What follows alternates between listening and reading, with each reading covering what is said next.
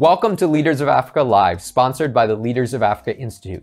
My name is Dr. Peter Penar, and I am your host. COVID 19 has disrupted higher education, affecting professors, students, and administrators at higher educational institutions in African countries. Today's panel discussion kicks off a month of presentations, interviews, and conversations about higher education during and in the wake of COVID 19. This month long series will produce a policy paper publication describing the COVID 19 disruptions, forms of resilience, and proposed ways to build back better. The Leaders of Africa Institute team is also conducting interviews for a short film documentary that will air at the very beginning of April. We thank you for engaging in our research and outreach journey today, and we encourage you to follow Leaders of Africa and the Leaders of Africa Institute on Facebook and LinkedIn, as well as at Leaders Africa on Twitter and Instagram. And of course, join our community for chat and networking on Discord. And of course, hit the subscribe button here on YouTube to receive all updates and future content about this series and other series from Leaders of Africa. We are grateful for a wonderful panel kickoff today. We are joined by a diverse panel of faculty, researchers, and students. Dr. Upasana Singh is a senior lecturer and academic leader of the discipline of Information Systems and Technology at the University KwaZulu-Natal in South Africa. Her research interests include educational technology and its ability to mobilize student learning. Dr. Godwin Debrah is a lecturer and economist at the University of Ghana with an interest in improving service delivery and public safety in African countries. Welcome. Matthias Krönke is a PhD candidate in the Department of Political Studies at the University of Cape Town in South Africa. He is a graduate researcher at Afrobarometer, a nonpartisan Pan African research institution conducting public attitude surveys on democracy, governance, the economy, and society in 30 plus African countries. His research focuses primarily on political parties and basic service delivery in Africa. We are also joined by Caroline Musyimi, who is a lecturer and curriculum designer at the Coast Institute of Technology in Kenya. And finally, we are happy to have four students joining us. Yolanda Biri is a student at Midland State University in Zimbabwe. Maria Tereri is a student at the University of Zimbabwe. And, we, and from West Africa, we have Hilary Saar and Edmund Fusu, who are students at the University of Ghana. Welcome to you all.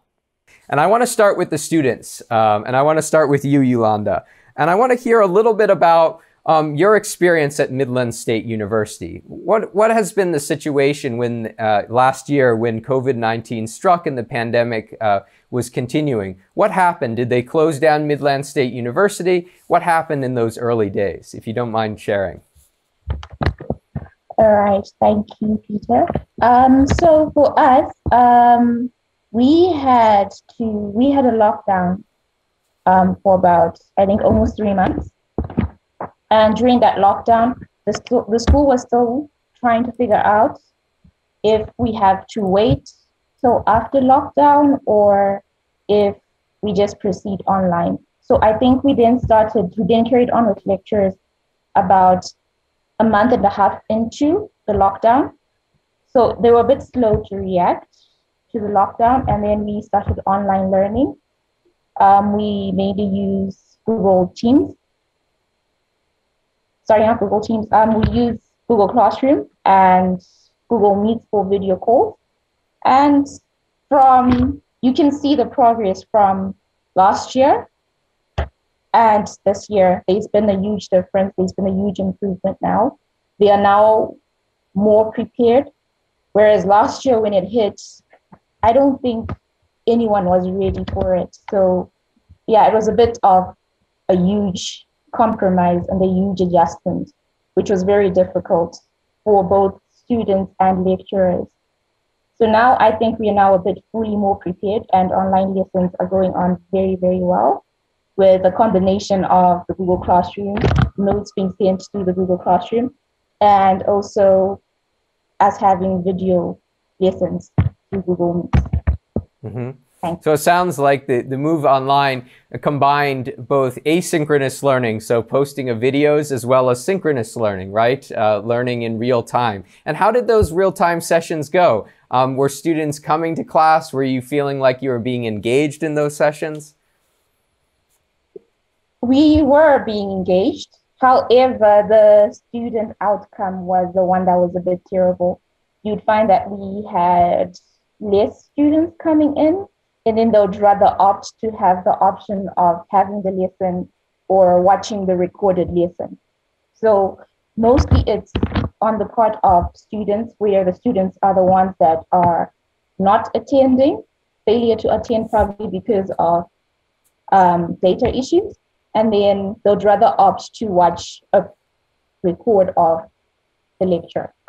Mm-hmm. Wonderful, and and obviously this is what, what we're describing right now, Yolanda, was the beginning of the period last year of, of lockdown and the transition to online learning. I'm a little curious from you, Maria, from your perspective at the University of Zimbabwe, how was that transition for you? And, uh, you know, what are the prospects of, of opening up now? So what was that translation transition like? And, and, uh, you know, are there any prospects of, of opening for some in-person learning uh, in the coming days? Um, okay, thank you. Um, well, my situation is more like the same with Yolanda. Um, at the University of Zimbabwe, we opened school in October, sometime in October last year, 2020. And as the COVID-19 pandemic progressed, we were forced to close schools and operate from home. And we were doing online lectures through Google Classroom, Zoom, um, and through WhatsApp. Well, it's been going on very well, um, but we've been facing challenges of data as the internet costs are very expensive. And at the same time, uh, some of some students have not been able to access online le- online lessons due to data problems. However, as I said, the process has been going on very smoothly, and uh, we're hoping to close schools, schools very soon as the lockdown and the COVID nineteen pandemic is uh, is is moving down. Mm-hmm. Good.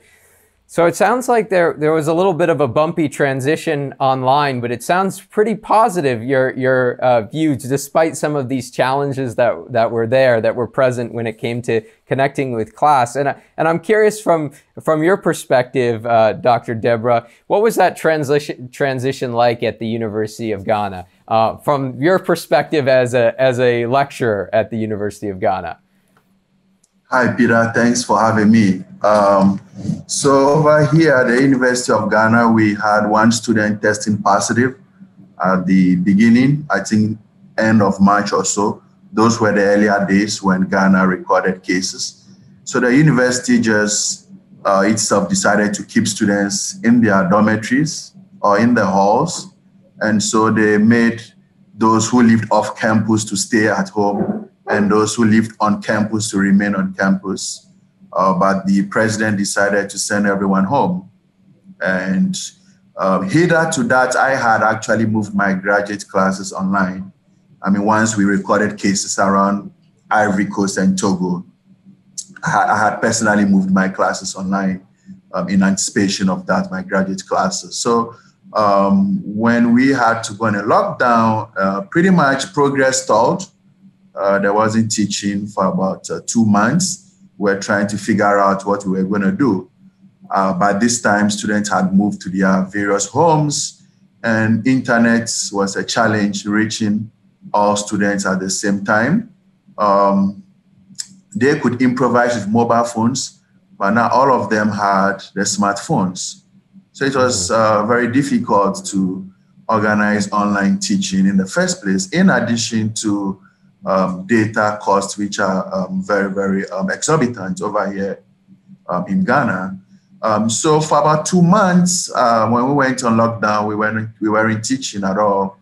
Uh, we had to wait until we figured out that we could um, meet students online. Somehow we had one of the telcos, Vodafone, offering free data to students. And here at the University of Ghana, we use Sakai LMS, Mm-hmm. And so it was kind of zero rated. Students could download stuff over there for free. So two months we were not teaching, we were not learning. I went on lockdown. We came back and began to. Uh, and and Peter, you realized that WhatsApp was very effective than Zoom uh, when we went on lockdown because uh, almost every student had WhatsApp. mm-hmm. but they didn't have laptops to come on Zoom. Uh, most of them were hearing the Zoom for the first time, uh, and, and so on. So we would, so I'm in the quantitative department, statistics, which added another layer of difficulty. Uh, we couldn't really teach online. We needed a whole lot of, you know, um, equipment and so on, or new iPads and so on. So we would send questions on WhatsApp. Students would try their hands and then try to type some of their answers or send pictures, yeah, of their calculations. And other students would make comments. The lecturers, professors, we were also on the WhatsApp groups, um, you know, grading assignments, making comments, correcting, and so on.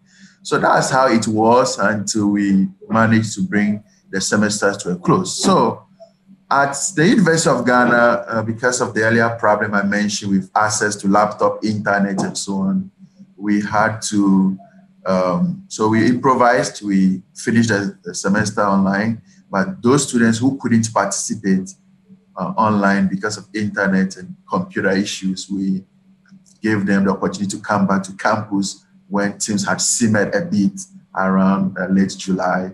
They came for face-to-face interactions for three weeks, after which they took their exams and then were able to catch up. So that was the transition. Uh, the situation is interesting in Ghana because for the public institutions, the authorities went, wanted us to be at par. Mm-hmm. So one of the universities dragged us back, the University of Cape Coast. They couldn't do online at all. And so even when we were done, we had to wait for them until January this year and, and so on. So, so that was pretty much um, the situation here at the University of Ghana. Thanks so it sounds. So it sounds like a fair amount of improvisation that happened afterwards, and the use of what it seems like a use of mobile phones was very key for both accessing lectures, some real-time interactions and then WhatsApp conversations and, and sharing of assignments. And, I, and I'm curious, uh, uh, Dr. Debrah, about um, the, the tools that were using that were being used before the pandemic, right? You mentioned Sakai LMS, and for those of you who don't know, Sakai is one of many of these learning management softwares, of which there are many of them. Canvas, maybe you're familiar with Moodle uh, which is another open source platform. So I'm curious, before the pandemic happened, were a lot of faculty members utilizing some of these tools? Were students accustomed to using platforms such as Sakai in your view, or was it not being utilized so much by both students and faculty? Well, Peter, uh, thanks, Peter. I think um, the Sakai is pretty popular here. Uh, a lot of the faculty keep getting training in that. I must admit that not all of them are, you know, comfortable using it. So we keep having training uh, on that. Amongst the students, I think it's pretty popular. They go there for their homeworks. They know how to submit assignments and do basic stuff. So Sakai was uh, pretty much in, in full use uh, before the pandemic, which was very helpful during the transition that we could upload videos whenever we could um, and so on. So that was the main tool we were using. Um, some faculty were using the um, the video um, aspect of that. They had a fora, they have the chat rooms, students. So so before the transition, students could always send messages through the chat uh, room, asking questions, group discussions, and so on. So not throughout the campus, but um, especially the business school and so on. I'm, I'm aware that they made good use of that. So it wasn't like going from zero or nothing to online um, Sakai was um, uh, the tool we were using right here.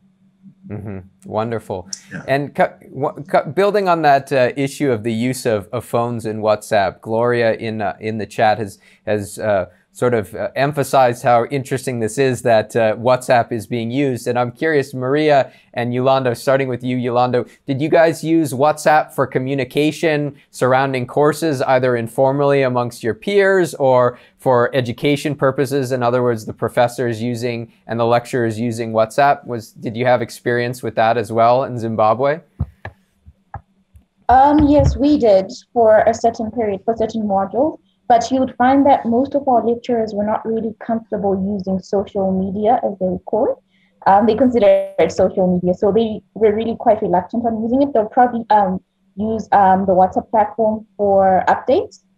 They'll probably update you and they'll be like, um, probably they'll update us through our class representatives, and they'll be like, tell the class, I have updated, I've uploaded notes, I have uploaded videos, I have sent an assignment to ensure that students get material as soon as possible. So that's how WhatsApp worked for us. And they really try to avoid that. They try to avoid having lectures on WhatsApp. So we mostly stuck strictly to Google Classroom, and the WhatsApp platform was for probably asking questions, discussing with students, and updates only. That was basically what how we use WhatsApp. Wonderful. And how about you, Maria? Were you also using WhatsApp in some form or uh, communi- text communication apps for learning purposes, either amongst your peers, as it sounds like Yolanda, you you guys were using it at, at Midland State University more for you know discussing amongst your peers, coordinating things, or do you did you find at University of Zimbabwe that also the lecturers were also using it? What was your experience, Maria? Well, um, as the case with Yolanda, um, we've been using WhatsApp quite a lot of times uh, during our studies. Sometimes we'd use WhatsApp uh, for discussions, and sometimes we'd use WhatsApp when our lecturers would want to send uh, audios and uh, other materials that we needed. WhatsApp has been used uh, mostly because um, sometimes people will not have enough data to access Google Classroom and Zoom. So WhatsApp could be the media in which almost everyone could get access to. Mm-hmm. Wonderful. And and Edmund, uh, I believe you're a graduate student at University of Ghana. Is that correct? Oh, it's on mute. It's on mute. You're on mute, Edmund. Yeah. Yes, please. Yes, please. So, so I'm curious, Edmund, from, from your perspective, what was that transition like at the University of Ghana, perhaps from the graduate student perspective? Um, were you also using sort of applications, chat apps to interact, or were you guys doing more synchronous learning or asynchronous learning? What was that like? And I'm, I'm particularly curious about your experience of ensuring that there's mentorship of your graduate degree throughout the process. How did that sort of play out? Okay, like I thank you. So as my lecturer rightly said, yeah, before the pandemic, we were using Sakai LMS and then other lecturers were making good use of Zoom and and then WhatsApp like platforms. So what happened here was that the the postgraduates we were not much more affected because of you know our growth and then throughout the system in Ghana here. So this is what happened. I was a student slash uh, a junior staff, if I may put it that way, because I serve as a as a teaching assistant here. So I was involved in most of the teaching for the lectures and then all that. So I was much more particular, uh, very good in using Zoom and all that. So I was assisting uh, my graduate student how to go about Zoom and then this and that. So University of Ghana being the premier university in Ghana here, in Ghana here was the first ever school in Ghana to just take the learning uh, from on-site to online. Yeah, following the, the, the, the, the pandemic. So other schools also like follow suit. And then the university did very well in acquiring data from Vodafone Ghana here for each and every student, five gig worth of data for each, each and every student. Though that was not enough, it could save us uh, enough money. So following the, the, the, the, the, the, the transition from, from, from on-site to online, for University of Ghana graduate students, I haven't heard anybody complaining that much because we were not much more affected because of our experience in in the online meeting because prior to the pandemic like some lecturers also were doing online session with us because of our smaller class size and and then all that. So we were much more into the online online learning than the on-site. So it was like a balance uh, like, like a balanced thing. So the pandemic we didn't see see see see the the effect that much. But then to me personally, the the the, the effect that I, I I really encountered was, you know, for for some of us who have to do menial jobs and then in order for us to fund our school fees, you see that we do uh, small teaching to get enough mm-hmm. money to save and to pay our fees. So we were we were we were much more uh, yeah affected by the lockdown in terms of the financial aspect but then in terms of the educational aspect learning aspect no never but then follow after after the pandemic, when things became normal, now go and pay the school fees. That is where the problem is because a mm. lot of the a lot of the people that we we, we were teaching here for small money here, are not into the online thing. And then because of the pandemic, no one will, will even allow you to, to get into his or her, her home to teach his or her word. And that was, and, and, and that is the most difficult thing that we face. But yeah, when things became normal, we have been able to find our way through. And then by God's grace, we've been able to pay the part that we have to register as students and then all that. And God being so great, I'm a graduate assistant here. So things are just, you know, like good now for me. So I'm okay. So Wonderful. yeah, that's in Ghana here. Yeah.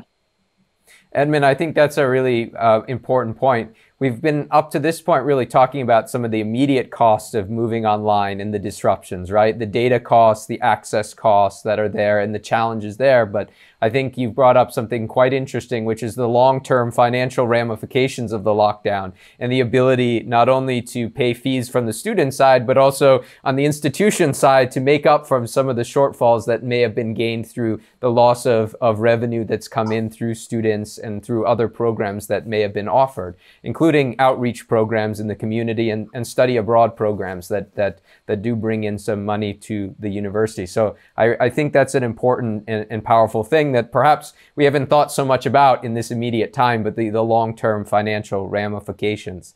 Um, I think that's imp- quite important. Now, I want to turn to you, Matthias, um, because we've been talking about this issue um, a, a, bit about connectivity um, and the uses of different types, forms of devices, right? And it seems like mobile phones, particularly in Ghana, have been leveraged Sounds like in Zimbabwe, it's a combination of some mobile phones and as well as laptops and other sort of mediums for access. And you've been doing some research on public service delivery and sort of access to the the um, the materials and, and other um, sort of connectivity uh, elements that are required to have a productive e-learning situation or that transition to online. And I'm, I'm curious, I know you're presenting on Tuesday, you'll speak more about this, but I'm curious if you could kind of preview what that looks like. What are some of the variations that you see across different African countries in terms of the access to the basic uh, basic needs that are required for this transition to online? Thanks, thanks, Peter. Uh, yeah, so it's really quite interesting, and I think encouraging to hear from from our panelists how well uh, students have been able to adapt to to this situation. Um, I think where it becomes more difficult is uh, when students are not able to to have accommodation and they have to uh, go home to their respective areas where they might not have the infrastructure necessarily. So, I mean, if we think about uh, graduate students or, or, just university students in general, uh, we usually are in the top bracket of, uh, well, families are in the top bracket of, of income earners in each country.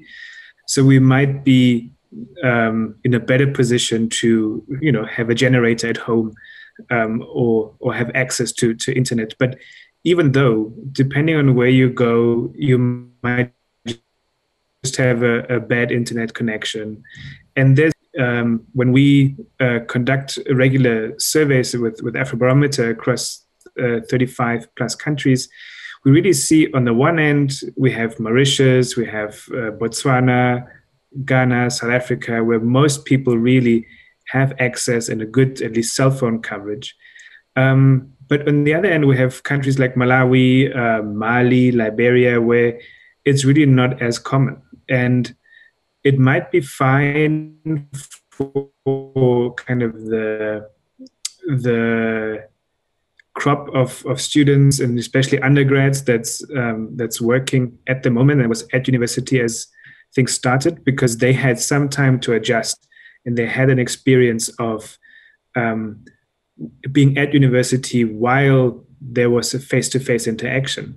But it will become very difficult i think um, for new students who have to come in now and uh, where we have online only and they don't know it any other way Plus, they would have been disadvantaged because their final year of high school, in many cases, um, was disrupted. And so I think mm-hmm. this is really when we start thinking about the transition from high school to university, this is going to be uh, very challenging, um, even just getting student registered. So here at, at UCT in, in Cape Town, South Africa, which I would argue is probably one of the better resourced universities in the continent, it's the first time that we're doing online only registration. Um, mm. Partly because you know it wasn't necessary, um, but also because we're forced to do it now. We still have very much distant learning uh, in place, and so just transitioning the next group of students into university um, is going to be a, a, real challenge. And if you at home, if you don't have the the environment, a quiet place to learn, which many just don't, um, it's going to be a really, really challenging. Mm-hmm. So it sounds like we can expect emerging from this period um, sort of great variation across countries in terms of the longer term effects on uh, sort of the inequality that that results from disrupted education, right? You, you mentioned uh, some countries that have faced connectivity challenges, and we can kind of assume that that has impacted learning perhaps even more than the impacts that have been there at, at more well-resourced and and universities who have thought uh, through perhaps plans for e-learning uh, in advance. So I think that's a really uh, important uh, piece in terms of uh, a sort of mobile phone access. What do you also find, you know, aside from the connectivity to the internet, um, is there also variation in terms of the um, the ownership of mobile phones, and what does that look like? Since it seems like mobile phones were the key, were one of the key instruments of connectivity during this uh, this pandemic. Yeah, so we, we find that basic mobile phones are pretty ubiquitous across most countries. Um, but there's a real difference when we talk about smartphones. And here, mm-hmm. um, so that's, you know, being able to, to access WhatsApp, uh, Google Meets, uh, or other things. And, and again, I think this is really uh, going to force students um, either to, to, or even countries, it's going to force them to move to face-to-face interactions much faster if they cannot reach their students in another way. And that obviously has important health implications, um, or that um, we find much greater differences um, between those that that have access to this at university and those that don't. So, mm-hmm. you know, some universities are able to send out um, even laptops to to their students on a loan basis. Um, but if you can't, that is going to really increase the the inequality uh, in terms of access to um, to education, even within countries. Mm-hmm. Wonderful.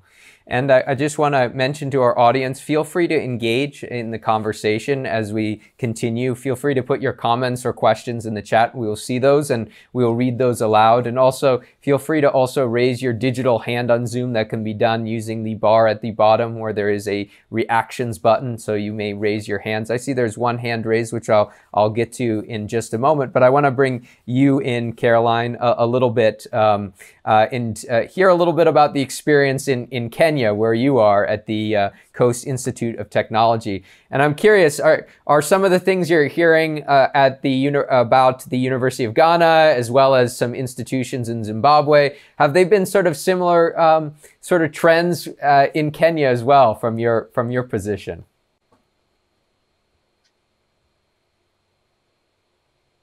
Thank you, thank you, thank you for this opportunity. Oh.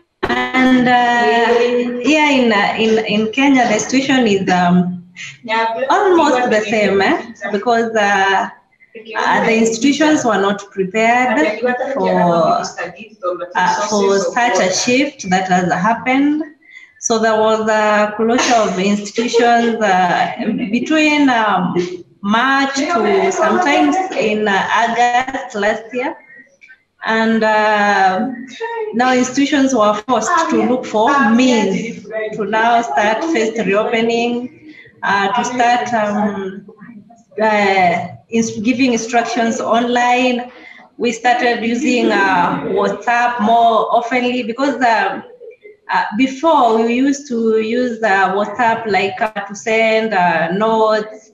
So this time we could now engage students more, much more via WhatsApp then now we started using Google Classrooms. We started using um, uh, Moodle LMS to reach these learners. We also tried to use a BigBlueButton. Though there were some challenges because um, some of the areas could not be are not well uh, covered or are not well uh, connected by internet. Challenges of maybe having um, uh, students or learners who come from poor backgrounds, maybe they do not have smartphones. So there were a bit of challenges, and we found that some of them even dropped out from uh, learning. And now that we are preparing for exams, uh, so uh, you find that the, the exams that have been done now, the, the, the, the, the intake was a bit low because of such challenges. Yeah. Mm-hmm. So it has Wonderful. been uh, uh, quite of a challenge, but uh, we are managing. that sounds like a, a good word to yeah. describe a, a, lot of the experiences, both on the faculty and student sides, is uh, is uh, trying to to manage yeah. given the given the circumstances. And I see that uh, Dr. Singh has uh, joined us uh, here, um, and I, I, don't know if the audio is connected yet or the video is connected yet. Oh, there's the audio there. Um, and I want to ask you, Dr. Singh, we've been talking about the, the, sort of the different ways in which the pandemic influenced institutions across uh, different countries. But I know that you at the University of KwaZulu Natal have also been observing um, how the pandemic has been influencing different institutions within South Africa itself and the variation that we see within country. And I'm curious if you could speak to what you've seen and why some institutions in South Africa have reopened faster than others. And I think Dr. Debrah was talking about this earlier about uh, some institutions being able to open earlier than others. So I'm curious if you could comment on that intra country variation that's there. Um, thanks, Peter. Good afternoon, everyone. Thank you for having me at this session. Uh, I heard a little bit of um, Matthias speaking about disparity across countries and you know different types of mobile phones being used by different students. And your question is specifically looking at South Africa and you know how the institutions here have differed.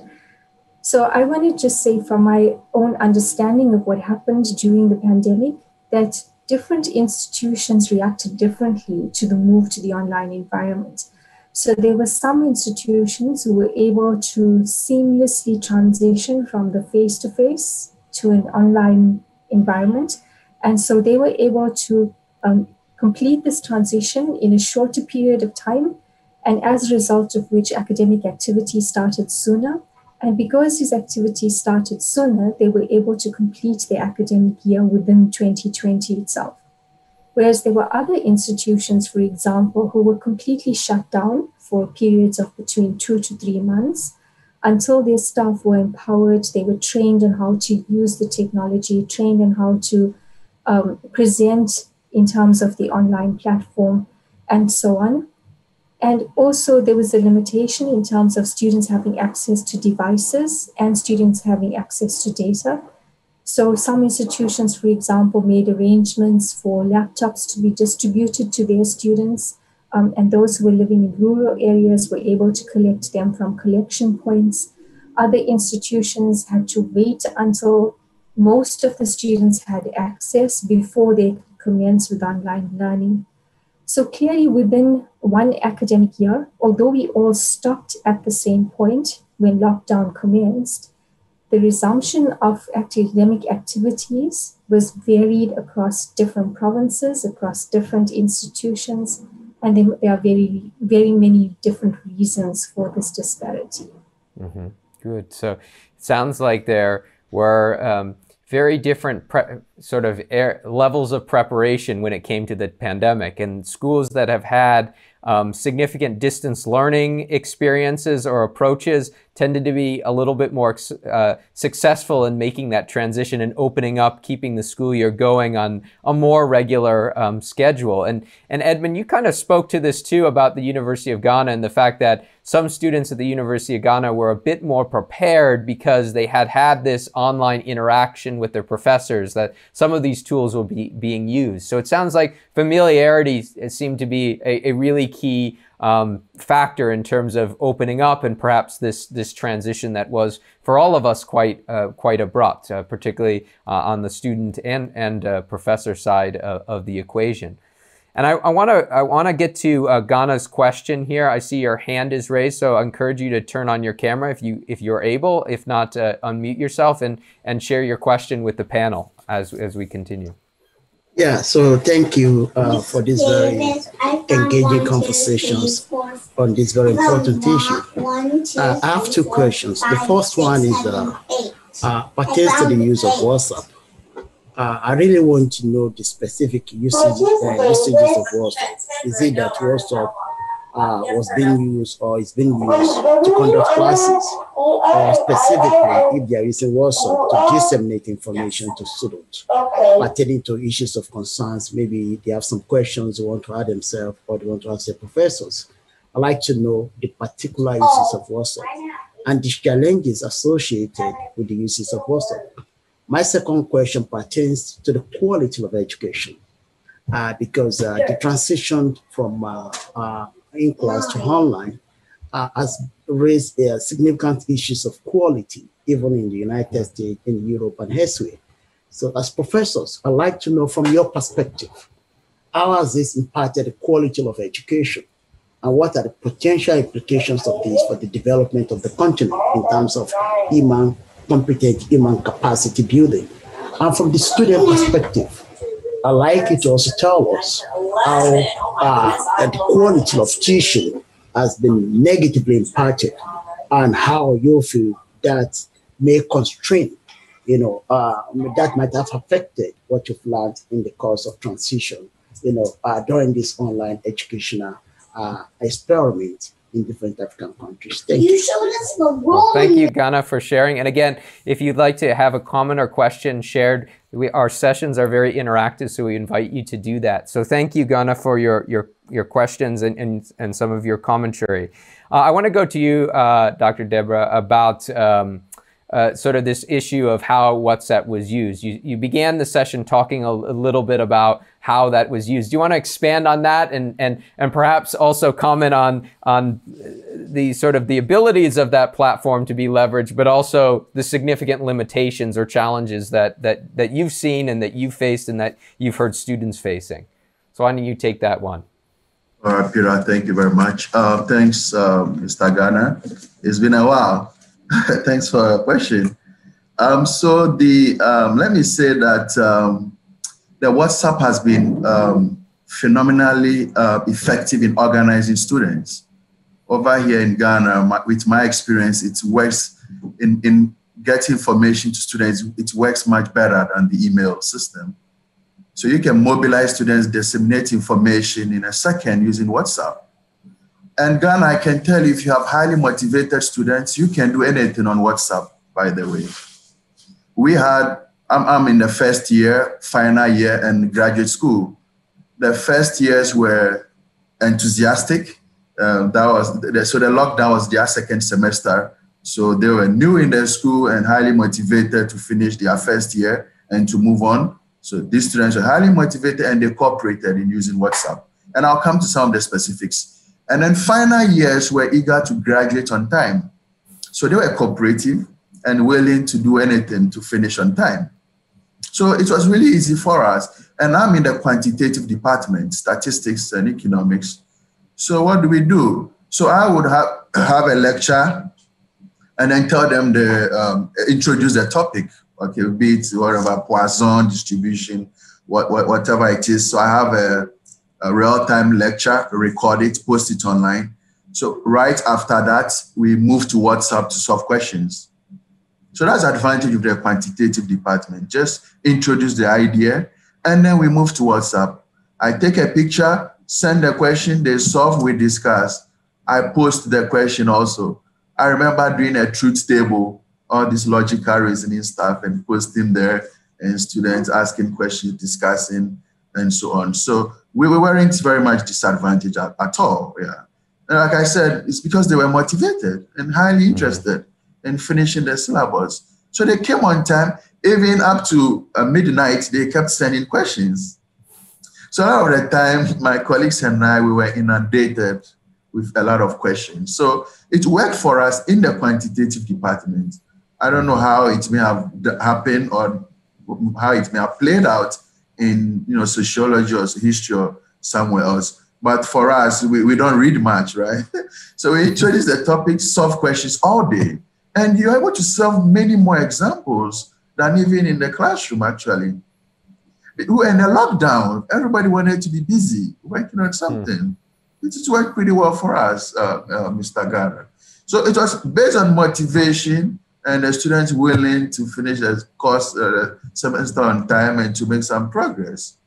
Um, some of the challenges was that uh, sometimes we couldn't respond to them on time, but they always waited, they were patient to get the answers back.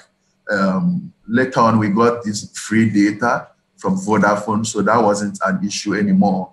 Um, so those who didn't have smartphone were alienated, right? That was the, the sad part and we couldn't bring them on board because they had no. Um, and the good thing is, these WhatsApp groups existed prior to the lockdown, so we're already organized, right? So it's, it's worked well for us. I'm, I'm going to touch on the quality bit. So here at the University of Ghana, we have reduced the syllabus, the, the content. So what we were supposed to cover. In, so by the way, the University of Ghana is doing six weeks for first years and final years, and then we go on vacation. And then the next six weeks is for second years and third years. So we have reduced the syllabus and we have increased contact hours. So I can assure you at the University of Ghana, quality has not been tampered with, um, not in a significant way to the best of my knowledge.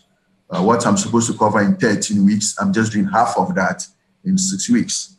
So it's not about superficial teaching, not at all.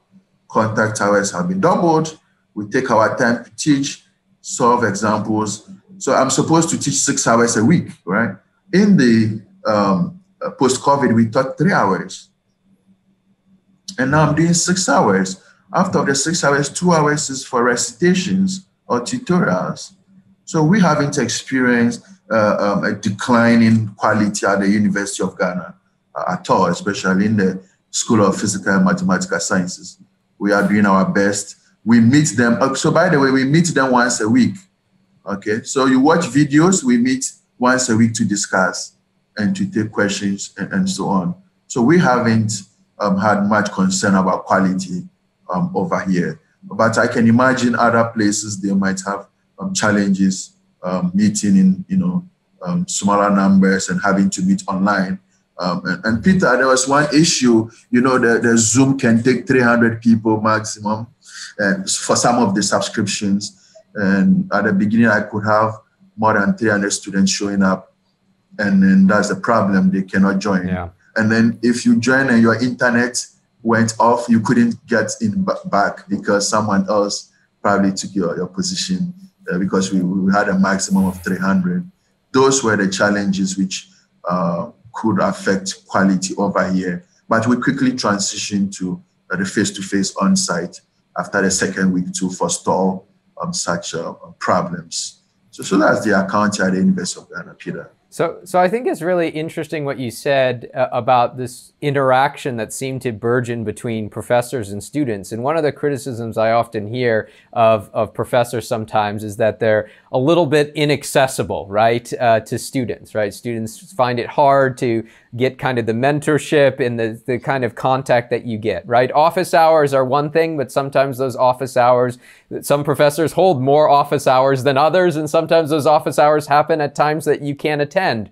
But it sounds like there are now some new mechanisms through which uh, professors are now having this norm of interacting with students on a more regular basis and through other means that seems to have burgeoned at, at the University of Ghana, which is uh, which is really good to hear. I want to I want to build on that other aspect of quality that you touched on, um, and and go to you, Dr. Singh, about this issue of quality. And I know you've been involved in sort of building capacity around the implementation of technology tools and the extension of of of sort of e-learning to support learning um, more broadly. And I'm curious, are there structures in place or frameworks um, that are being used to help us think about um, measuring quality of instruction in using these platforms, using certain technology tools? Uh, that's the first part. And the second part is, are, are these frameworks or rubrics being used and applied and being discussed with faculty member to help them feel capacitated, to help them improve in their practice using these tools? Thanks, Peter, for that question. Uh, quality has been of great concern in this sudden transition to online learning because many academics have just had to do it because they were forced to do it and they hadn't had much training in the whole process. So um, most of the institutions in South Africa for the move to the online environment definitely did provide some sort of training and guidance for their academics. So the academic digital literacy was definitely in place. However, I don't think there were, for those, especially those institutions who didn't have access to online learning or weren't moving in the direction of online or blended learning prior to COVID, um, there was very little quality assurance measures in place. So what we're finding is that there are frameworks. For sure, there are many frameworks that deal with quality assurance issues in online learning. But the actual implementation of these is, is pretty slow because right now the focus seems to be on the delivery of content to make mm-hmm. sure that we can reach our students, to make sure that students can complete their syllabus. Um, and it seems to be a fragmented approach to the quality assurance process of the online space. So I think that there's, there's definitely scope for that to increase um, as we get more into online or perhaps post COVID, the blended approach.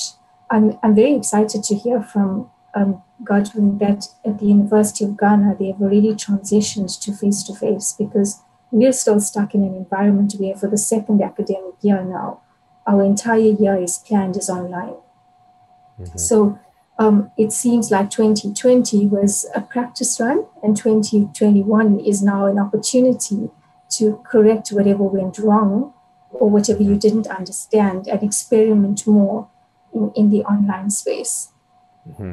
I think one of the challenges and, in, thinking about doing things better is is finding the time often to reflect on, on our practice and, and interrogate it. And and as faculty members, sometimes that can that time can be quite quite wanting uh, when it comes to to to dealing with that. I, I want to to sort of hear from the students on this issue of quality um, that has been raised. And, and uh, starting with you, Yolanda, did you feel like professors were sort of uh, aware that perhaps the, the quality of instruction was not the same as in-person learning? In other words, were they more uh, perhaps accommodating of student challenges or accommodating on exam papers and things of this nature? What did you find about the, the, the professor's sort of standards for the quality of your performance? Did it change? Did it adapt to the situation? And what were your thoughts on that?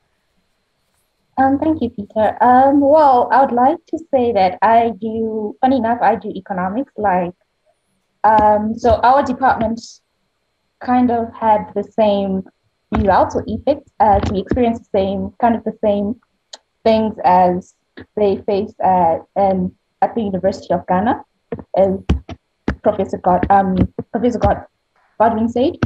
So for us, our lecturers were actually willing to help because ours is more of the quantitative um, program. So our lecturers were actually really willing to, to help because they understand that we really need assistance, especially if you're being introduced to something new, something you haven't done before. So they were really willing to accept our questions, willing to assist in any way possible. So they made them, themselves available 24 7. Okay, not necessarily 24 7, but they were there. They were more available, the longer office hours.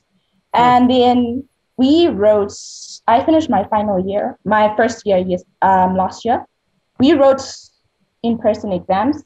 And what they did is they created a roadmap for us where we go as certain levels. So it would be first years only and then we have face-to-face lectures to open open for students to discuss what where they need um, further expl- elaboration and explanation in topics they need further elaboration in and they basically yeah that's what they're doing. They give us we do online then before we write our exams we have two weeks of face-to-face lectures where we have an open discussion where lecturers feel like this is a hard topic, so I'll focus this, I'll focus on this. Then they give us room to ask questions or further elaborations on things that we did not understand online. And then we write exams. So I feel like the quality has not reduced in any way because now they are willing to, they have adapted very well to the new normal, as I would say. Mm-hmm. So Wonderful. they they offer us their services, and when we then go right, we are then helped further, and they explain more. If there are any questions, they assist in any way they can. So they are willing to help. So I feel like quality has got reduced for us personally for NST from my personal experience. Wonderful, thank you, Yolanda. So we we we have a, a, very optimistic view from the students, uh, despite some of these disruptions. And I, I want to bring in uh, Hillary, who's here. So a couple of us have had some connection or, or video challenges, but I, I, see Hillary is here, one of our students from the University of Ghana. Can you can you hear me, Hillary?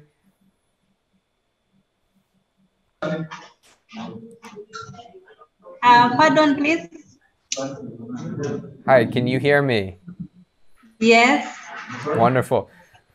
All right, we can see you. So, so how has your experience been at the University of Ghana? Have you have you also similarly found that the quality of the education hasn't changed so much, or do you think there have been some changes, right, in these these different adaptations to the schedule? What what have you found? Well, for me particularly, I like the online because And even when we were going for classes in person, my friends and I would usually record the classes so that we can go back and listen to what the lecturer sort of said. So with the online, the online classes were recorded. And so you could go back to it anytime to sort of look at it and at any time that you wanted. And so I felt like that was that helped me a lot because it was already recorded and at any time I could see what the lecturer was doing. Whereas if we were doing it in person, after you left the class, you didn't know, you would have to maybe sort of ask a friend, what did le- the lecturer say, I mean, concerning a particular topic. So I like the online a lot. And in the University of Ghana, we were already used to the online. We're used to we're used to it already. So it wasn't so much, we didn't have we didn't face so much difficulty because we're already using Sakai a lot. Mm-hmm. So the only problem was with, um, you know, the internet and everything. And when we sort of have to take tests on Sakai, and everybody is on Sakai at that same particular time taking the test, there would sort of be like a jam or something. And that was just mm-hmm. the problem that we faced. But concerning the quality, I think it was okay. Mm-hmm. I like the I like the online. Yeah. And I'm I'm I'm one I'm curious, Hillary, uh, whether the the University of Ghana reached out to you uh, and and asked you to share your experience. So one of the things that we talk about um, in improving education is hearing student voices and getting giving feedback to their professors. Did University of Ghana have a framework for hearing from students about some of their challenges as well as as you've just mentioned yes, some yes, of the yes. positive things? And how did that play out? Okay, so the students' body, such as the SRC, because we were in groups on WhatsApp, they would usually ask us if we were okay, how like how the online is going for us, like we should rate it. We should see how everybody is sort of doing in terms of the online education. So WhatsApp actually was where would everybody would share their views on how the online classes were was going. So, yeah. Wonderful. Good. So there there was some some feedback mechanism that was that was in place, which is really important. I'm trying to see if Dr. Rufai is uh, here. It seems like he has had some internet connectivity difficulties throughout. So hopefully um, that gets fixed uh, as we uh, enter our last few minutes of our discussion. But I want to come to you, Matthias, on, on, on this question that has been raised. Um, I'm seeing that uh, a microphone is on here. Let me. Okay, there we go. So I, I want to come to you about um, something that is underlying perhaps some of these decisions to open up, right? We've talked about institutions making decisions about opening up um, based on their capacity, based on sort of their desire to interact with students using e-learning platforms. But we know that the government is also engaging in, in policy making decisions that affect, in particular, public universities, but in some countries, private universities as well. And so I, I want to hear from you a little bit more, perhaps just, just from the South African experience, but if you can talk about other experiences, that, that's fine. But I'm, I'm curious about the South African experience. You know, what is the direction that government is giving when it comes to, you know, this the plans for reopening? And when it comes to the inequality that you that you alluded to before that will emerge from this, what are some of the signals that governments are giving about how they're going to deal with the inequities that may result from this uh, this pandemic period? Yeah, thanks. So I think it's it's really tricky, um, precisely because we have uh, the apartheid uh, past, and there are huge differences between the different institutions. And Professor Singh alluded to to some of this already. That some institutions were able to transition fairly smoothly and and send out um, these laptops and luckily UCT was was one of them but for others it's really difficult and I think government is trying to to do their best um, also in terms of financial aid to to kind of cushion the transition and, and help students out. Um, but I think in terms of implementation, it's just really, really difficult. Um, and there's so many competing competing aspects to it. So and I mean, on the one hand, we have uh, uh, higher education students who certainly need the support, but we have currently an unemployment rate that's sitting at well above 50%, probably. Um, I mean, it's difficult to, to gauge the numbers. And so, where do you allocate the resources? Um, and I would even make a case of saying maybe higher education is not is not a priority in, com- in comparative perspective. Um, so I think that that is a really tricky bit. Not to say that that these inequalities aren't there among higher students of higher education, but it's always compared against what, um, and it's where it's really tough to to make these calls as government. Mm-hmm. I think that's important because obviously our session today is all about uh, thinking about higher the impacts on higher education, but the impacts have been broadly felt across educational sec the the entire educational sector. And as you mentioned, Matthias earlier, we have to think about the incoming classes, the incoming freshman class in, in the future, what that's going to look like uh, in regards to disrupted learning. And because a lot of the things we've been talking about today, it sounds like uh, a lot of university students have been able to be a bit flexible, a bit able to adapt. But of course, younger folks are not able to adapt or not, perhaps not as motivated as you mentioned, Godwin, earlier to, to graduate, so to speak, um, and to sort of buy into some of these, these processes taking place. So I think that point is well taken, Matthias, that when it comes to thinking about resources and dealing with the, the broader base in inequities that may uh, that have resulted from the pandemic, that perhaps those uh, those resources will be allocated and should be allocated uh, at more at a more foundational level in the education system. So I think that's uh, uh, I think that's quite important, and arguably very important to us in higher education as well, because we also want uh, very competent classes that are coming in uh, to begin their studies as well. So it it it, it plays that role. Um, in addition, so I see Hashim has his hand up here. So I want to go to you. So uh, to get your question in there, if so, if you don't mind unmuting yourself. Yes, hello. Hi, we can hear you, Hashim. Yeah, thank you very much. Uh, yeah, I'm a 100 student in University of Ghana, and then I just wanted to emphasize on the quality of education uh, my lecturer, Dr. Godwin Debrah, talked about. Uh, I want to just say, in University of Ghana here, the quality of education has not been compromised, even though with the uh, online session. Uh, when I had admission into University of Ghana, I was uh, offered economics, mathematics, statistics, and I was wondering how I was going to, I mean, cope with mathematics because you know it involves a lot of uh, ambiguous diagrams and formulas. But one of the tools the schools resulted was uh, the use of the Sakai LMS, my lecture machine, and then he forgot to mention of a Google Classroom. And I think with this Google Classroom, it made uh, the teaching and then learning of mathematics very easy for both teachers and students here. I remember in every week we we have a, a tutorial class on the Google Classroom where the lecturer puts questions and then we discuss. I mean, it's very interesting that uh, with the Google classroom, we are able to easily ask the lecturer question and then feedback is given very easily. And sometimes I think we just feel like it's a face-to-face lecture and not an online lecture. So I think in University of Ghana, yeah, quality has not been compromised. That's what I just wanted to share. Thank you very much.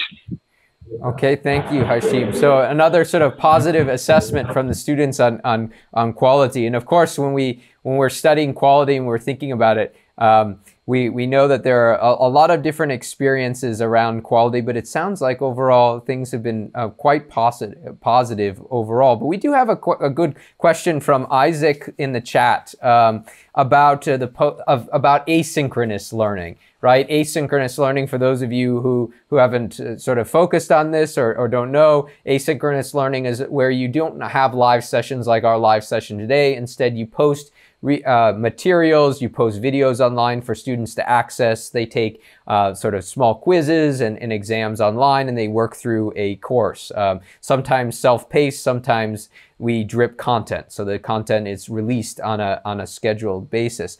And one of the things that Isaac mentions is that some, he su- suggests that some lecturers have been sort of pre-recording using asynchronous approaches, and it has made it very difficult uh, for um, uh, for students to ask questions, right? To have that interaction that's there. And I'm, I'm, I'm curious from your uh, perspective, uh, Dr. Singh, this, this debate that we all have oftentimes about asynchronous versus synchronous learning. Um, are there ways of perhaps dealing with some of the challenges that Isaac identifies of this this uh, this difficulty interacting with one's professor in a more asynchronous environment? As we know that some professors have have elected to use that that approach. Um, thanks for that question, Peter, and thank you. I think Isaac was to that question. Um, before I, even respond to that, I would like to say to Prof. Godwin, congratulations. It seems that the University of Ghana has really done a good job. Um, the students are really positive about their experience, and it's probably a very good role model for most of us in Africa, um, because you know not many students have have positive experiences of the move to online, especially if they registered at face-to-face institutions like ours. So the concept of asynchronous learning. Um, you know, traditionally, it depends on what type of institution the student was registered at. So, if, for example, they registered at the University of KwaZulu Natal, they have made a conscious choice. Okay, I would say prior to, to 2021, the student had made a conscious choice of coming to a face to face institution because they wanted that interaction with the lecturer. They wanted to attend lectures, they wanted to be able to interact with other students rather than going to a distance based learning institute or an online learning institute. So, because there was this conscious decision, and because we had to, to move or we were forced to move to the online environment in 2020, I think it's absolutely essential that academics understand that we have different types of learners in the classroom so that learning style um, spectrum also comes into play here. And you have to cater for those students who want that interaction. So, whether it is via a live lecture or whether you choose to record your lecture sessions and put them up for the students on the learning management system, you still need to provide that interactive time with the students.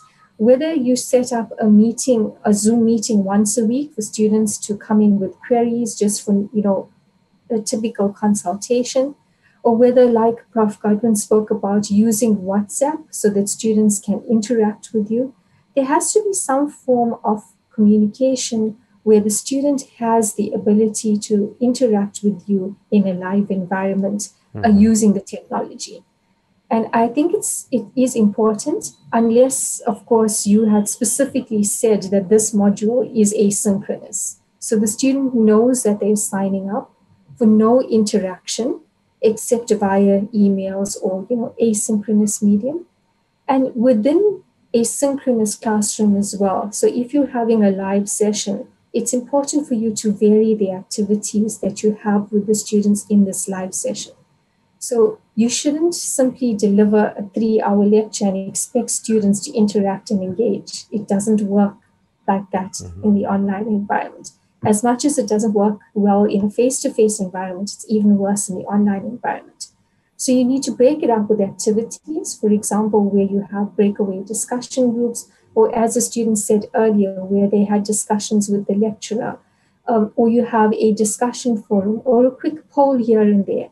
So having various activities during that synchronous session as well encourages students to attend because they, they realize it's not just about content delivery, but it's about engaging, for learning from their fellow students, and to have the social interaction which they're missing in the you know face-to-face environment so there was a bit of a ramble but i hope it answered your question. No no i think it i think it did. Um, and i think there are a lot of misconceptions oftentimes about it, what asynchronous uh, teaching style is about right? Um, and and it and i think one of the key things you underlined is that it is it is very important to be upfront about the the kind of style that is being used so that when students enroll, they know and have expectations for what that looks like. And, and oftentimes those expectations shouldn't just come from the professor themselves, arguably, but also the institution that allows students to know this is what a class will look like if the professor chooses to have asynchronous learning. So I think that was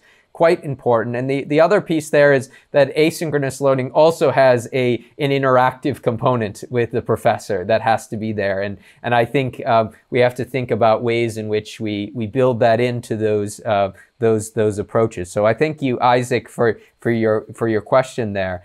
Uh, Caroline, I want to come to you um, about um, the the issue of of exams and assessments. Um, and this is something that always tends to come up uh, in sessions when we think about e-learning, is that many countries have standardized exams or institutions have standardized exams, right? And that uh, and some of those exams are are established by the country themselves. Like there are there are certain curriculum standards, and you must design an exam that reflects those curriculum standards. And we all know that there have been challenges around exam integrity and assessment integrity before the pandemic, right? That has always been a concern of professors uh, and institutions before. And now we're in this online uh, e learning environment or hybrid environment. How does one think about delivering exams or assessments? How have you sort of counseled others to think about um, um, you know, measuring learning in a way that we can really gauge the learning impact and also that we can um, assess whether a student has met our standards, our quality standards. Okay, thank you. Okay, uh, here in Kenya, not most of the institutions were able to do the exams online, but uh, just a few, like um, uh, uh the national universities, like uh, University of Nairobi, and a private university known as uh, Mount Kenya University were able to run their examinations successfully uh, uh, online and they were able to record and um, the exams were, were okay. However, for our case in, uh, in my institution, we, we taught online and then we went to call our students back to sit for the exams because our students sit for a national exam, which is um, a standardized exam all over the country, so we could not uh, do it um, via online. So we had to call them, uh, and they did the exams in shifts. So they already did the exams in the last um, in the last month. That is uh, starting the month of January and um, to up to mid uh, this month. So uh, most of the exams were done face to face. But some institutions managed to give the exams online, though there, there were some uh, issues of cheating. So I, I think uh, we are yet to, to, to a place where we could say that we can uh, be able to administer our exams online and uh, we get quality results or uh, we, we be able to say that we examined our learners uh, and um, we did our best. So mm-hmm. we are yet to get there as a country. And I think that's a, an important point. Uh, it sounded like exams were very important in Kenya, such that they, uh, by and large, had students come in and take them so they can at least sort of control that exam taking environment. I hear of other institutions perhaps considering a move away from types of exam exam forms of assessment, right? Relying mm-hmm. on essays and other sort of end of semester projects to to round out. But we know that in big classes, and and uh, uh, Prof. Uh, Debrah, you mentioned you alluded to the size of some of your classes by mentioning the Zoom limit on some plans of being 300. We know that a, a class of 300 plus or or even 100 plus um, is quite large, right? And and to be able to have alternative assessments um, can be can be quite difficult. So I, w- I want to hear from your perspective, Edmund, about exams and assessments um, because you've been sort of uh, uh, assume I assume you've also been involved in administering exams or dealing with exams as a as a uh, teaching assistant, um, but also engaging in that pro- process yourself as a student. So what, what does that look like, and what have been some of your observations about the delivery of assessments? Oh, you're on mute, Edmund.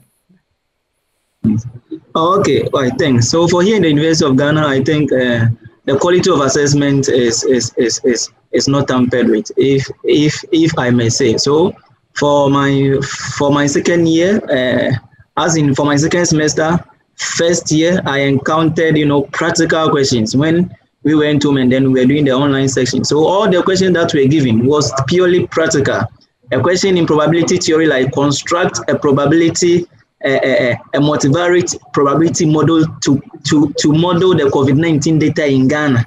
And then based on that, based on that model, how is sample pooling possible for what? Noguchi Memorial Institute in the University of Ghana. So with such a question, how are you going to even copy your friend and then and then it is about building your own model, speaking to it. And then after speaking to it, you know, like like show us your your your, your understanding of the model. So it was purely practical. And even after the practicality of the questions too, you you have to upload your your your your your your your, assessment through Sakai, and then it will pass through a, a, a software called Turnitin, where the plagiarism is being checked.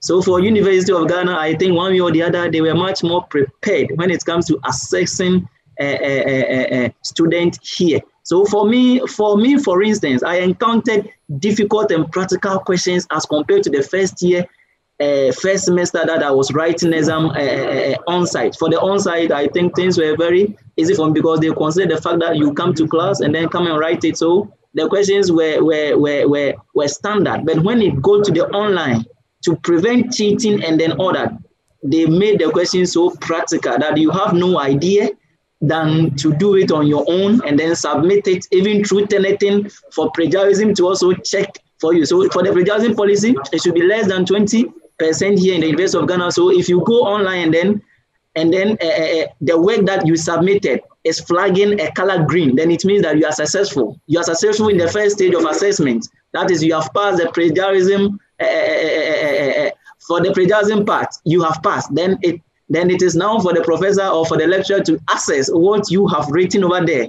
Is it meaningful for a grade A, a grade B, a grade C?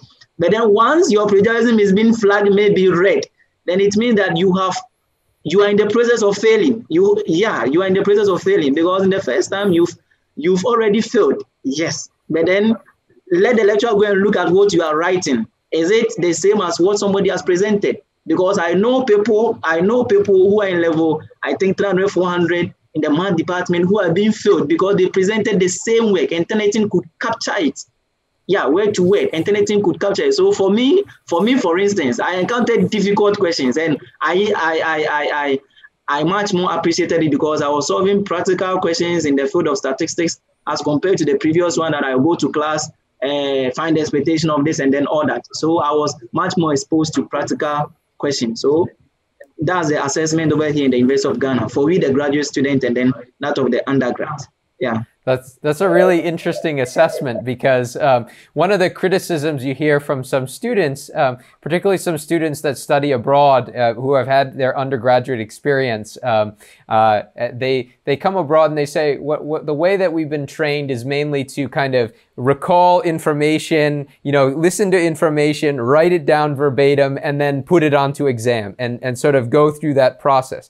But it sounds like um, from your experience and your sort of analysis of exams is that exams have been asking for some higher order thinking, perhaps, right? Moving beyond this sort of memorization to applied situations, right? And perhaps that's a really interesting adaptation, right? In the context, as you said, to prevent cheating, to prevent sort of simply copying and pa- cutting and pasting, but to have a bit more applied types of assessments. That's a really interesting innovation that came, uh, it seems, that came out of, of this period. And I'm curious, Yolanda, have you also seen the same? Have professors changed the, the nature of the sort of the assessments, the exam questions, the, the ways in which they're, they're figuring out whether you know material or, or has your experience at Midland State University been pretty much the same as it was before? I'm curious to know. Okay, thank you, Peter. So um, for us, it's always been the same because for exams, it's definitely application. You need to apply what you've been learning.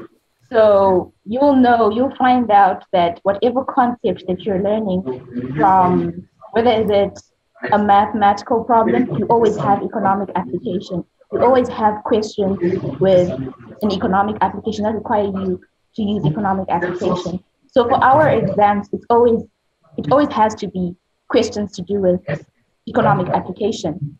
And yes, I, I do have to agree with Edmund that the exams were quite difficult, or, quite, or a bit more challenging than the exams we did first, because I think they feel like we've had more time to study, to research, to discuss, and teachers have been putting a lot more effort, so they require us to have a lot more knowledge and do better. So exams definitely have been more challenging. I would have to agree there. Mm-hmm. Really interesting. Yeah. So there's always a, assumptions that professors make about time. Um, and even for myself as a professor, uh, going into last semester, I kind of assumed my students would have a little bit more time because the campus had all of these restrictions on what they could and couldn't do. So what else could you do than read uh, uh, several articles in a week and be prepared to discuss? So uh, I think that's a, an interesting observation from, from your perspective about, uh, you know, how, how professors are sort of thinking about the use of time, but also kind of adapting to, to the context. So I think that's uh, wonderful. I was going to get Maria in, but it seems like she got uh, uh, disconnected. Oh no, she's there, but her um, her sound may be having an um, an issue. I'm always keeping an eye on on this. All right, there you are, Maria. Can you hear us? Hi, Maria. Yes, can you hear us? Yes, I can hear you. Okay. So how was your experience at University of Zimbabwe? Was it similar to your your your uh, your, your colleagues there at the Midland State University in terms of assessments?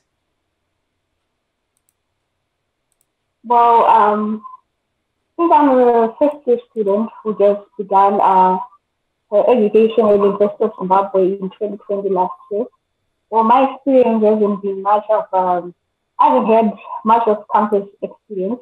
Think I've been doing, uh, I think I've been doing online lectures uh, since since November.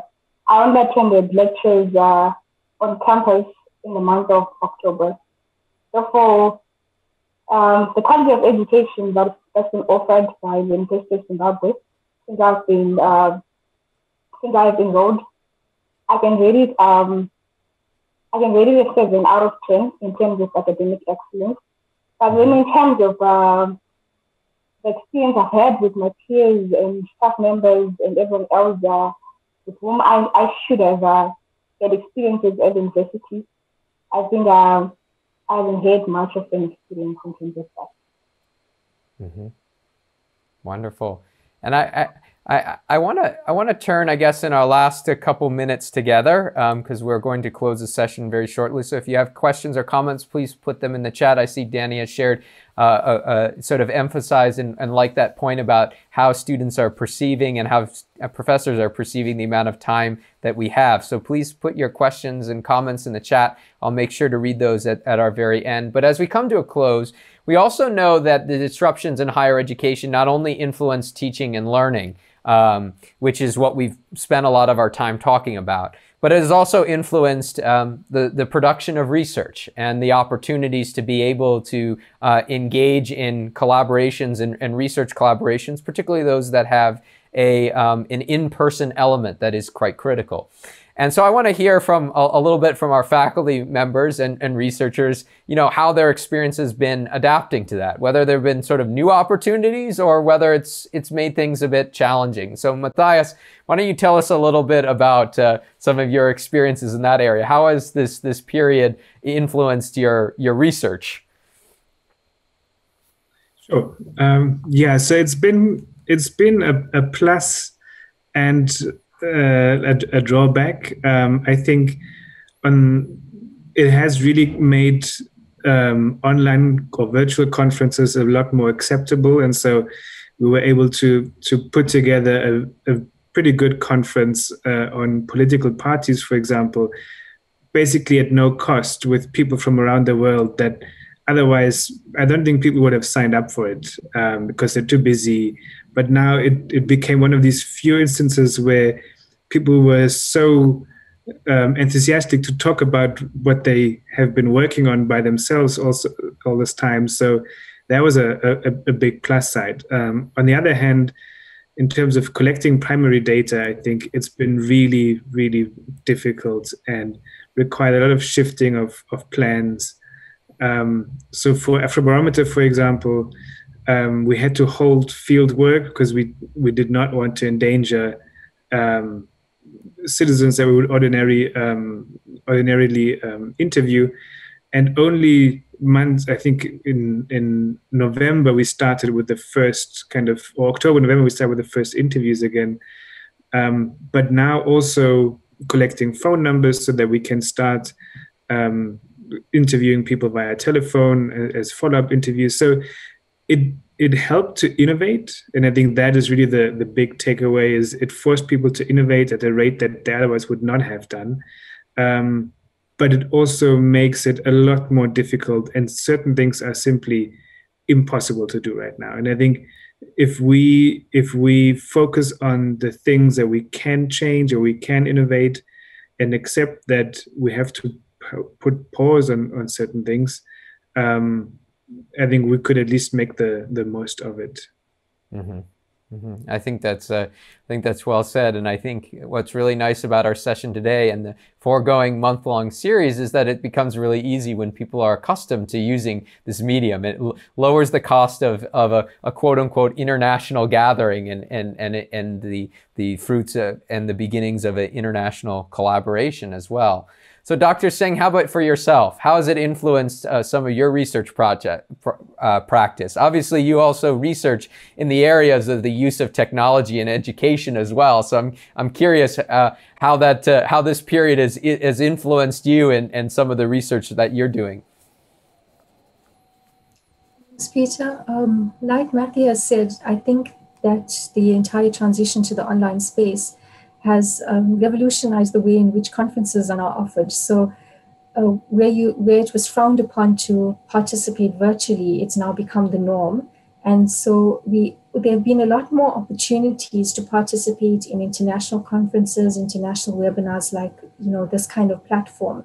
So for me, the collaboration has really increased during uh, the pandemic rather than decreased. However, the writer did suffer initially because there was more focus on trying to get your courses together, you know, quality courses, moving them to the online environment. And then, of course, as I said, particularly at the University of KwaZulu-Natal, there was this whole series of trying to empower academics and, you know, training that was going on intensively. So that that was difficult. The second thing I found is that there was a flurry of um, researchers wanting to cover topics related to COVID 19. So, because there was no prior, you know, uh, or there were no prior topics on COVID 19, uh, research done uh, based on the pandemic, everybody was trying to get questionnaires together to get feedback from academics, feedback from students, feedback from management. And so there, there seemed to have been too many surveys which were distributed in too short a time, and participants were then getting, you know, survey fatigue, and you were not getting people participating, no matter how many times you asked them to participate. So that was one of the major obstacles I found in terms of research and data collection. And the other one is, you know, we have strict ethical clearance procedures at our institution. And without people working in the office, it's very hard to pin somebody down to say, how far has my application gone? Or when can I expect to get feedback? So you're chasing behind getting that ethical clearance and you're losing time because it's a current topic and you need to get your survey out before somebody else covers that topic. So it was this racing game that you were playing all the time. But nevertheless, we have done some research and you know the research cycle as you know takes a long time so we're starting to see acceptances of those papers coming in this year, where we would would have liked to have seen them coming in last year because it was fresh and it was hot off the press. But we'll get there eventually. That's right.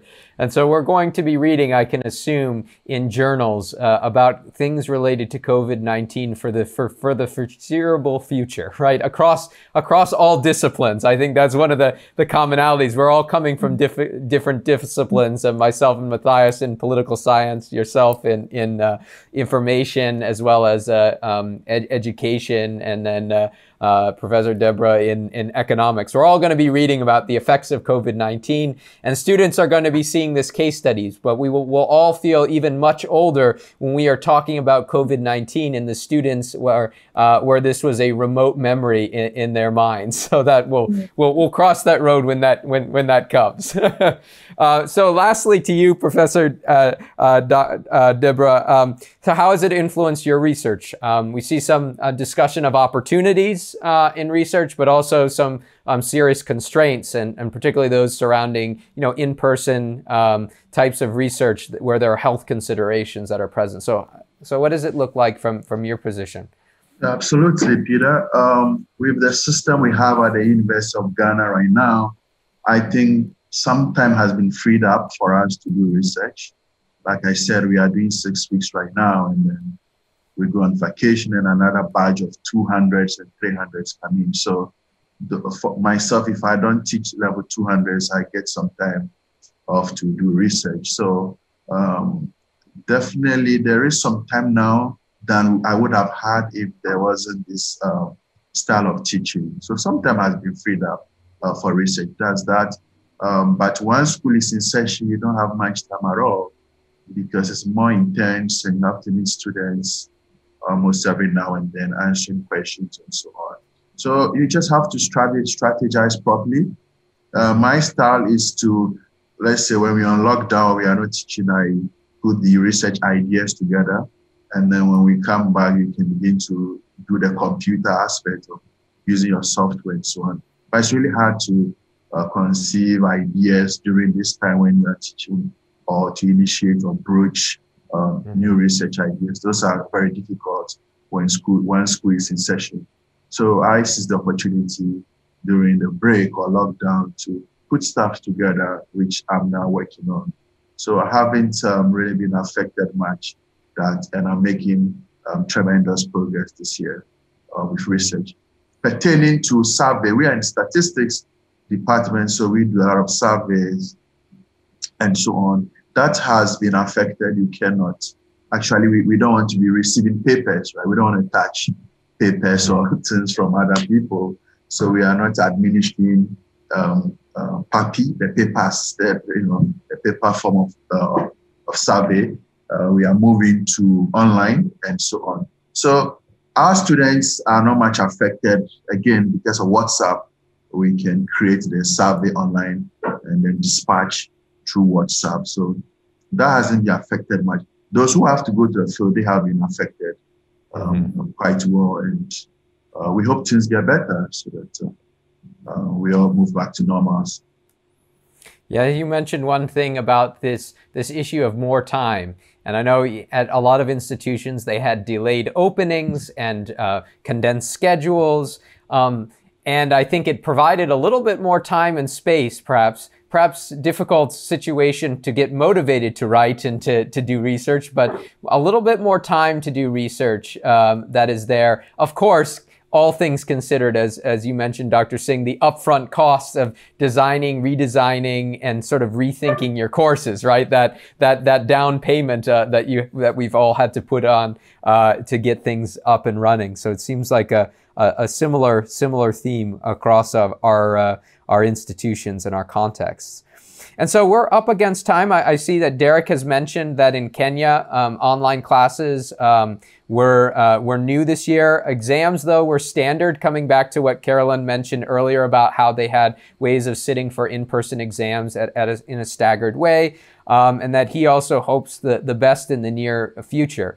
And so, as we conclude, um, I would just want to go around uh, for all of us uh, and share one thing that we really want to uh, keep. Let's focus on keep as opposed to drop from this era. Um, one thing that we would uh, sort of preferably like to keep, or what we sort of learned, or what, one thing that was good perhaps about this era, one thing that we that we want to keep moving forward uh, God willing, after the uh, pandemic ends. So I want to start with uh, with you, Maria. What is one thing you'd like the University of Zimbabwe, in your experience, to to keep after the pandemic period? Well, after the pandemic period, uh, if there's one thing I would like to keep uh, online lectures. Uh, you figure out that when um, when you're on campus, yes, we'll be having face-to-face interactions with others. But online lectures too are an important factor in our academic life. And uh, the technological changes and the world is progressing. I think that online lectures help us students, uh, especially on the side of students who are entrepreneurs or students who um, who go to school at the same time they do work uh, to get some money. I think online lectures do help them to juggle between the two, between going to school and at the same time uh, managing their businesses, whatever they'll be doing, which is not academic, but rather what improves their lives. So therefore, online lectures uh, are quite effective and, uh, and are an important aspect of our, of our academic uh, of our academic life. So I believe that um, online lectures should keep on uh, being, being done at universities. Okay, we're going to keep online lectures in some form. Good. Um, how about yourself, Yolanda? At, uh, what, what, what, what is one thing you'd like to keep? Thank you, Peter. So I feel like the recording of lectures should be kept because I can always then turn back to that whenever I don't understand a concept or whenever I need to revisit a concept because I'm someone who works with visuals. So definitely recording of lectures should definitely be kept. That's that's the plus. And also um, the availability of lecturers. You'll find that they are more willing to help and assist when they are online than it was. So it's not like they're more available. They have more hours to help us. So I feel like that should also that should be an element that should be kept. Not that they weren't doing it before, they were, but now it's more it's more welcoming, I guess. So I feel like that's another that's another aspect that should be kept. Okay. Good. So keep up that uh, interaction and all of a, note to all of us faculty. We better look really nice and, and prepare uh, to learn how to speak very well in front of cameras or, or know that our students are recording them and, and uh, perform accordingly. So that's one of the things that we, will have to keep in the back of our minds. Uh, that, that's, that's come up in our conversation. That's lovely. Thank you, Yolanda. Caroline, what's one thing that uh, uh, you would like to keep, Caroline?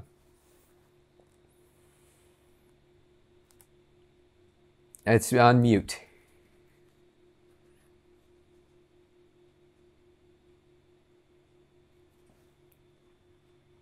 Now is the oh. audio not? Oh, there we go. Sorry for that. I thought I was on mute.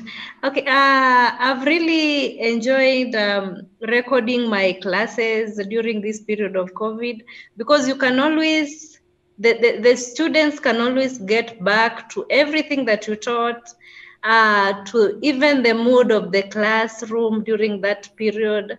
So uh, I think this is something that we should learn to keep in uh, in the future, even uh, during post-COVID uh, times, that uh, we can always record our our lessons for future use, or maybe if a trainee was not able, or a, student was not able to attend a lesson, they can be able to catch up later uh, once they, they, they watch those uh, recordings.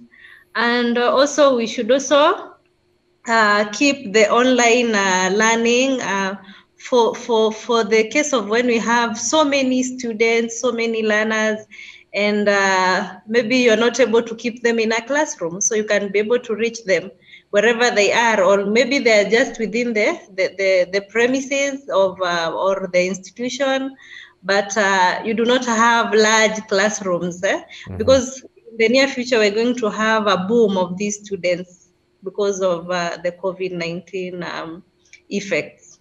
Thank you. Mm-hmm. All right, so Caroline's on board with recording lectures. That's good. That's good. Hillary, how about yourself? What would you like to keep?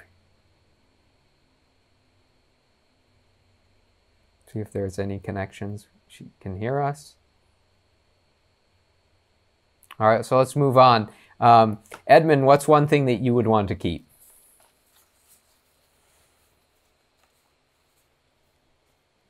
Yeah, so for me, in summary, I think uh, the practicality of uh, our questions, uh, yeah, should be kept here in the University of Ghana because it's really, uh, it is really an advantage as a statistics student, you know, to be, yeah, to be given practical questions in in an IA or in an exam, yeah, because it will it will greatly influence your your master's or your PhD thesis. So I think the practicality of the questions whether in exercise form, in an IA, in an exam, should be kept.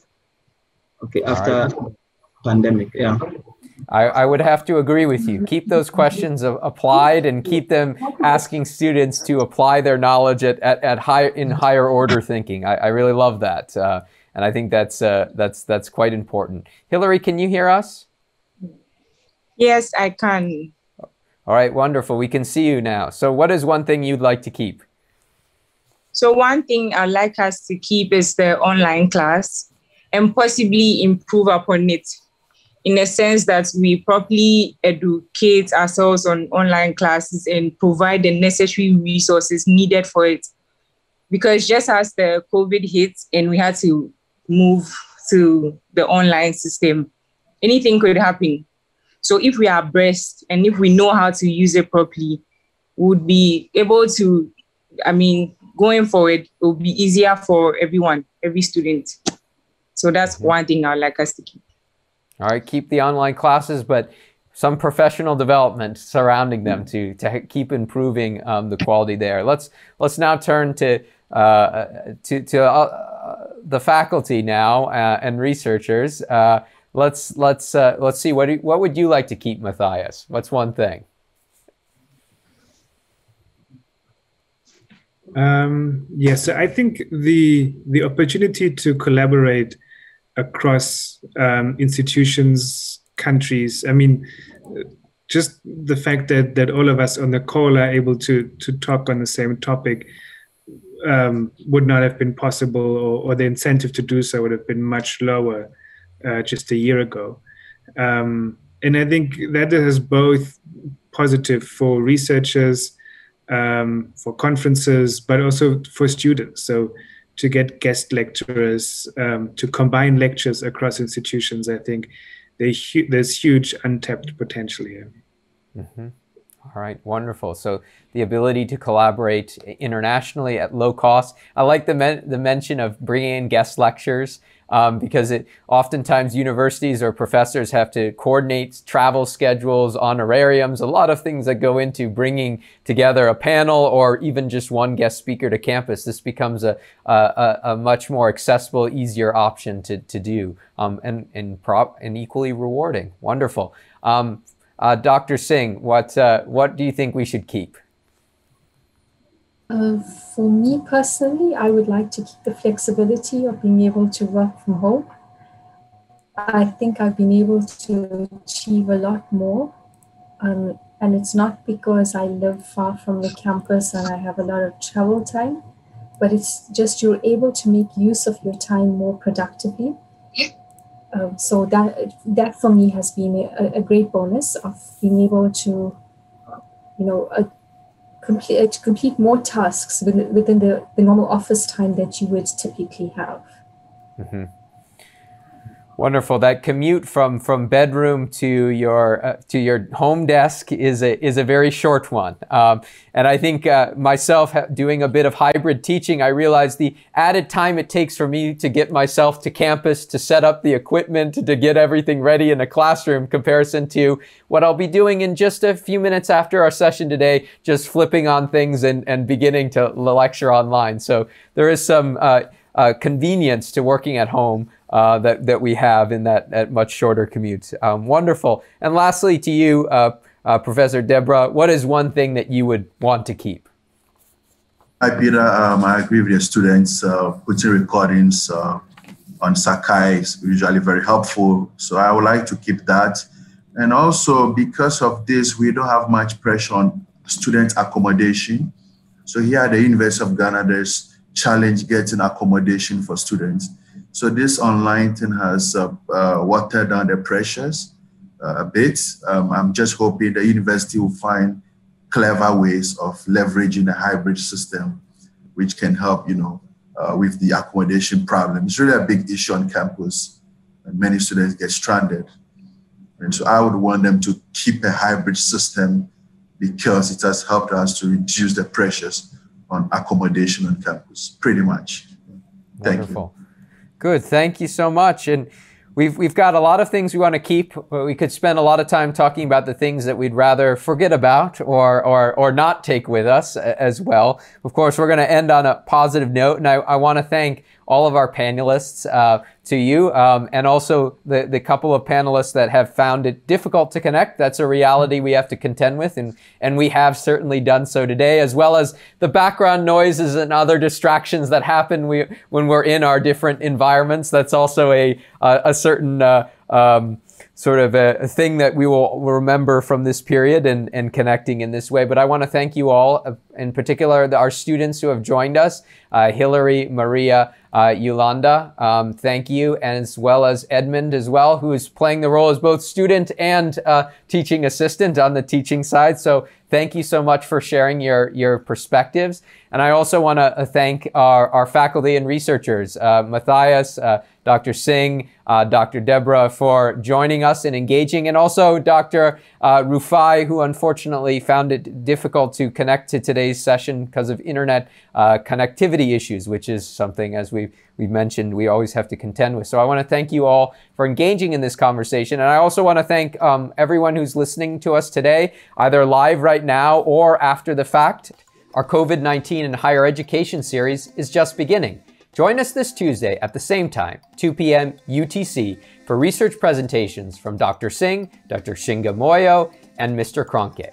Let's keep the conversation going. We invite you to follow Leaders of Africa and the Leaders of Africa Institute on Facebook and LinkedIn, as well as at Leaders Africa on Twitter and Instagram. And of course, join our Discord community for chat and networking and hit that subscribe button here on YouTube to receive all updates about new content from Leaders of Africa and the Leaders of Africa Institute.